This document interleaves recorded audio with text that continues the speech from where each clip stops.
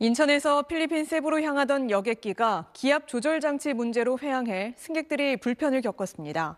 어젯밤 10시 35분 인천국제공항에서 출발한 세부 퍼시픽 항공 여객기가 남해 상공을 지나던 중 항공기 내부 기압을 조절하는 여압 장치에 이상이 생겨 이륙 1시간 반 만에 회항했습니다.